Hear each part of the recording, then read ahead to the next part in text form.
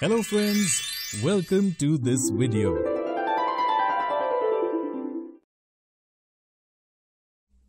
Today we will study about homologous series and nomenclature of carbon compounds in this video. Suppose we divided many books according to their subject. That is, all the books of Hindi, English, science, etc. were kept separately. As its name suggests, homologous carbon compounds can be defined as a group of similar type of carbon compounds that have the same general formula and functional group. The alkane hydrocarbon series are as follows. Methane, ethane, propane, butane, pentane, etc. In moving from one unit to another unit, there is a difference of CH2 unit. For example, there is a difference of CH2 unit from methane to ethane. There is also a difference of CH2 from ethane to propane, propane to butane, butane to pentane. And as you can see, we can represent any compound of this category by CnH2n plus 2 by this formula. For example, in the first compound of the series methane, N will be 1. Now, if we write 1 instead of N in this formula, we will get molecular formula of methane CH4. All carbon compounds in this category belong to a single bond. And so, an will be added at the end of the name, such as methane, ethane, etc. It also means that there is a difference of 14 mass between one unit to another unit. Because the mass of CH2 is 14, as the mass increases in the homologous series, the mass of the molecule will increase. If the hydrocarbon compound contains carbon-carbon double bond, then that category will be called alkene. That is, ene will be added at the end of the name.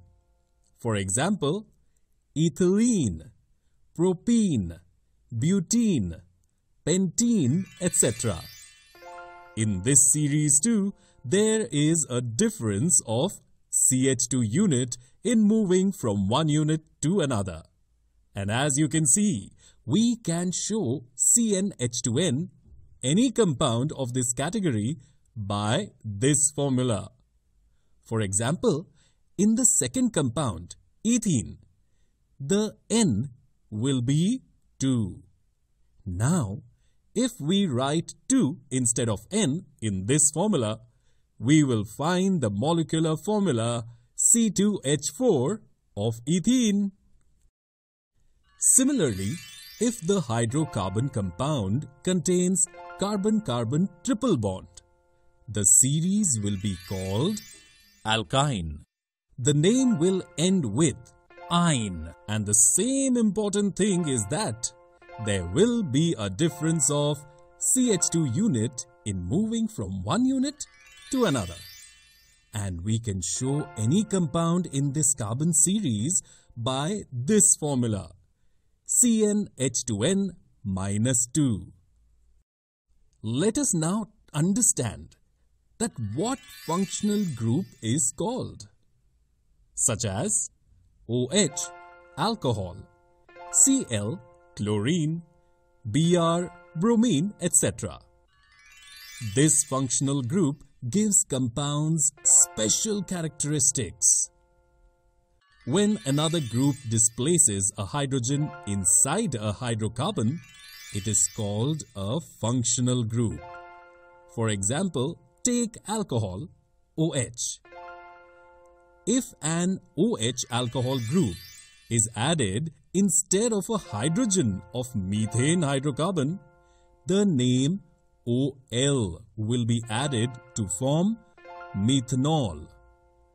Similarly, the entire homologous series is composed methanol, ethanol, propanol, butanol, pentanol, etc. You must have understood by now that this is a homologous category of alcohol and here too CH2 has to be added to move from one unit to the next. And moving from one unit to the next unit changes 14 mass. And because they all have the same functional group OH, they all have similar chemical properties. Similarly, you can form homologous categories by placing different functional groups in hydrocarbon groups. So now you must have understood a series of compounds in which the same functional group substitutes for hydrogen in a carbon chain is called a homologous series. The most important formula for this is that it takes one CH2 and 14 masses to move from one unit to another. When molecular mass increases in a homologous series, there is a gradation in physical properties. This is because the melting point and boiling point increase as the molecular mass increases. The chemical properties that are ensured by a purely functional group remain the same in the homologous series. Hope you will not have any dilemma related to homologous series. Let us now study the method of naming carbon compounds. Before understanding the nomenclature of carbon compounds, we will see an example of a name, like Mr. Mahendra Singh Dhoni. In this name, Mr. can be called prefix. Mahendra is the first name. Singh is the middle name and Dhoni is surname. Similarly, the name of carbon compounds is also divided into five parts. Let us know what those five parts are. The first part is the primary prefix. Then comes the second prefix. Then comes the carbon chain. Then comes the second attachment which joins behind the name. And then comes the primary attachment. In this way, the name of our carbon compound is divided into five parts. Now, we will discuss the rules of this nomenclature. But it can be a bit difficult for you to understand at once. Because, like mathematics, you will need to practice it. By discussing it through examples, it will start easy to understand and you will be able to name any compound. Let's know about the nomenclature. See, first you have to tell about the substitution.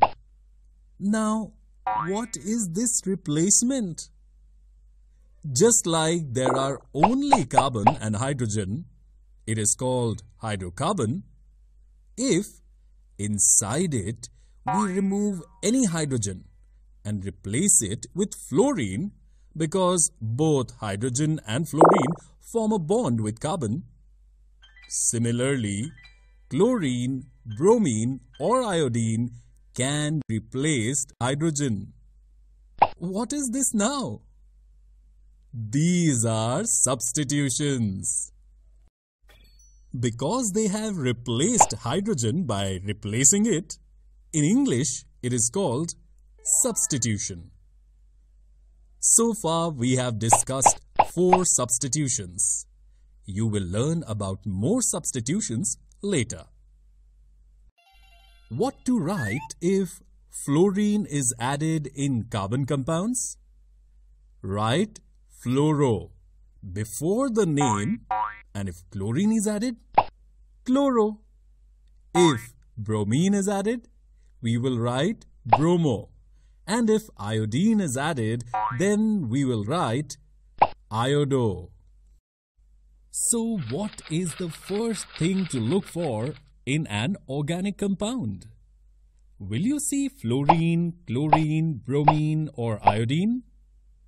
So we can write the primary prefix accordingly. After this, will you see which type of ring is being formed in carbon? You can easily see this. That is, the chain of carbon is straight or forming a ring.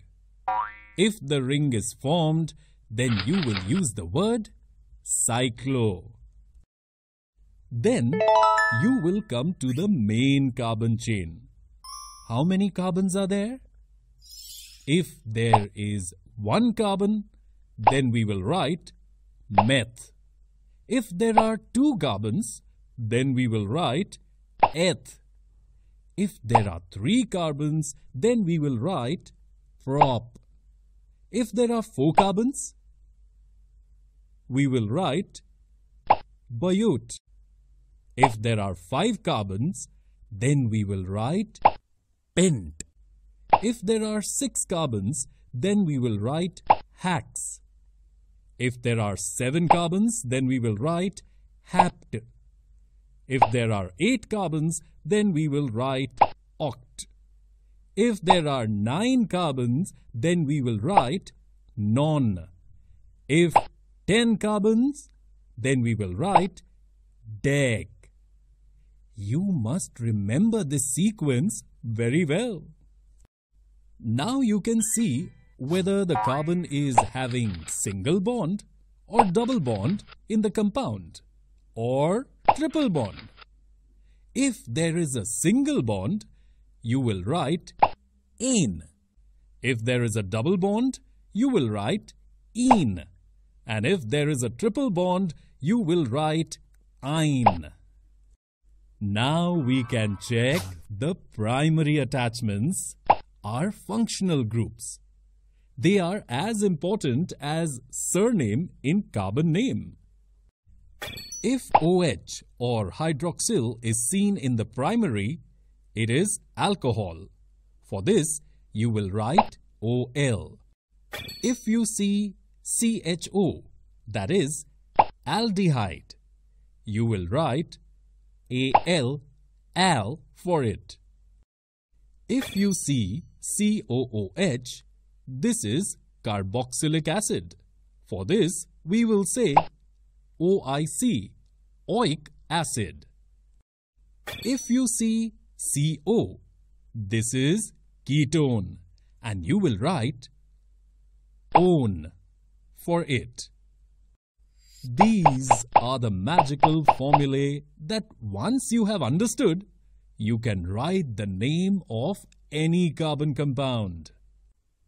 We will study the chemical reactions of carbon compounds in the next video.